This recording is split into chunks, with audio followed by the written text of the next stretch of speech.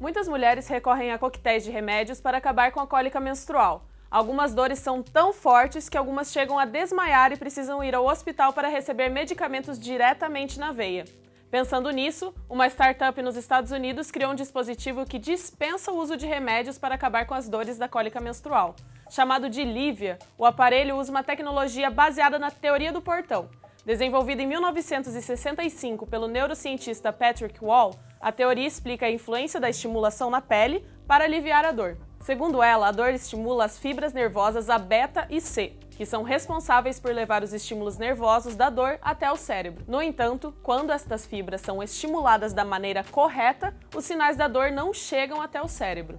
No caso do dispositivo Livia, dois eletrodos fazem o trabalho de interromper o envio desses sinais a partir de pulsos específicos. Basta colocar cada um desses eletrodos na região do ventre e ligar o produto.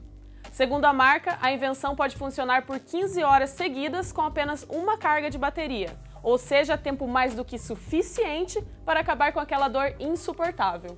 O produto foi apresentado pela primeira vez na plataforma de crowdfunding Indiegogo. A campanha deu tão certo que agora ele já está à venda no site da startup por 149 dólares. A startup envia o livro para o Brasil mediante uma taxa de entrega. Apesar do dispositivo ser uma alternativa bacana para quem sofre com as dores menstruais, vale ressaltar que não foram feitas pesquisas ou testes científicos que comprovem sua eficácia. Este foi o Arena Tech, até a próxima!